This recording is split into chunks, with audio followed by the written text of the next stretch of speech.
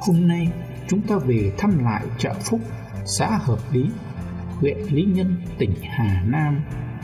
Chợ được hình thành cách đây hơn 100 năm với biết bao nhiêu thăng trầm, bom vùi, bạo dập. Nhưng chợ vẫn hiên ngang đến ngày hôm nay. Nơi đây đã gắn liền biết bao nhiêu kỷ niệm với những người dân nông thôn chất phác bởi phiên chợ được họp thường liên với những gánh hàng đậm tình thôn quê dân dã. Ai đã từng sống nơi đây chắc hẳn sẽ không thể quên những lần đặt chất đến chợ cùng các mẹ, các chị. Dù đi xa muôn phương, những người con hợp lý chắc hẳn không bao giờ quên đi những phiên chợ của quê mình.